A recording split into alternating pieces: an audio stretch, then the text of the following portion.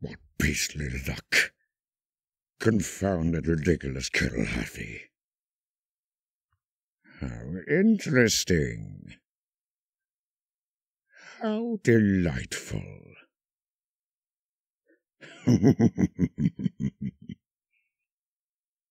Element of surprise? Oh, I say. and now my rendezvous with a little lost man cub. It's me, Shere Khan. I'd like a word with you if you don't mind.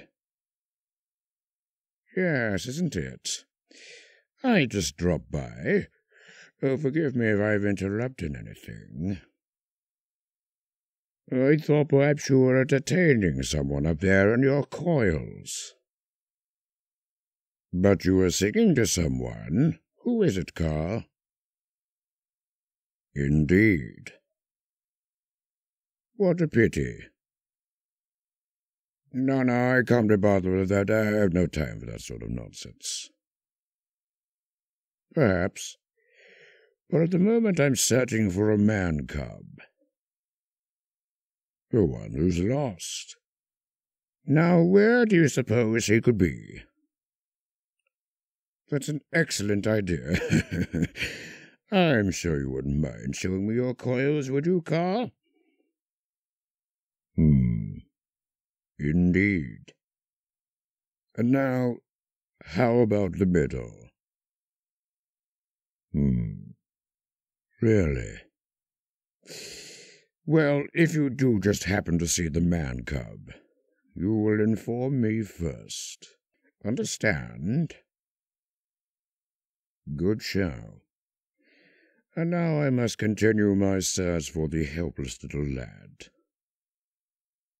Bravo, bravo! An extraordinary performance. And thank you for detaining my victim.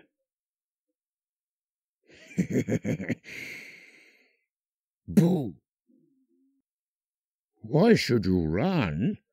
Could it be possible that you don't know who I am? Precisely. Then you should also know that everyone runs from Shere Khan.